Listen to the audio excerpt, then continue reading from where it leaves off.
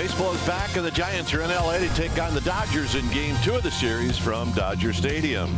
Giants opening week is brought to you by Provident Credit Union Super Reward Checking. We pay you.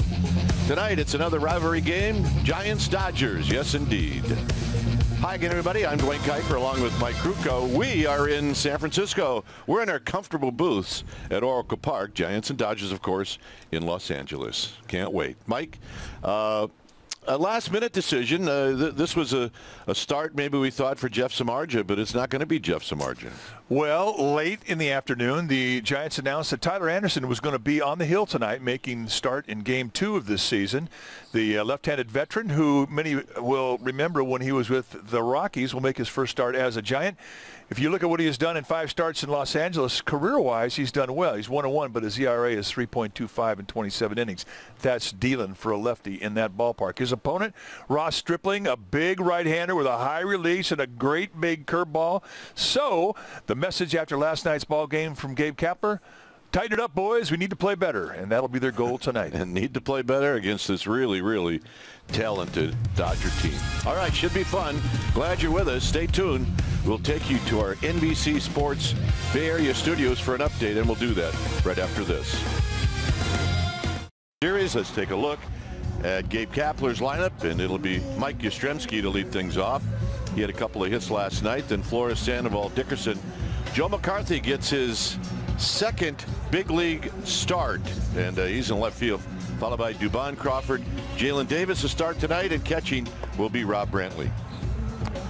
On the hill tonight for the Dodgers will be the right-hander Ross Stripling. He's 6'3", 220 pounders, 30 years of age, in his fourth year at the big league level.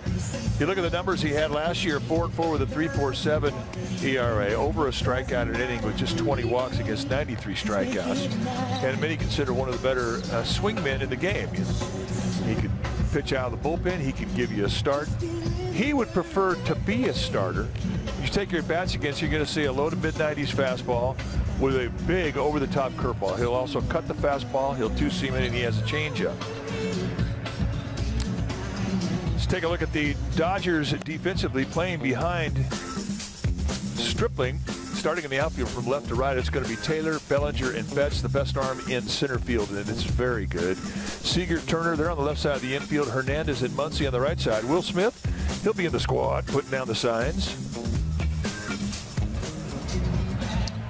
And one of the Dodgers lineup, Dave Roberts, Mookie Betts in the leadoff spot against the lefty, then Muncy, Turner, and Bellinger. Kike Hernandez got to be leading the league in hitting, I would think. Four for five last night with a home run. Seager, Taylor, Pederson, the DH, and catching is Will Smith. On the hill tonight for the Giants will be Tyler Anderson. Anderson, 30 years of age, in his fifth year at the big league level. This is what he has done in his career, 18 to 24 with a 4.69 ERA. About eight and a half strikeouts per inning with a three to one strikeout walk ratio. Take your pass against him, you're going to see a fastball that's right around 90 with a little sink to it. He'll also cut it. He's got a curveball slider and a great changeup.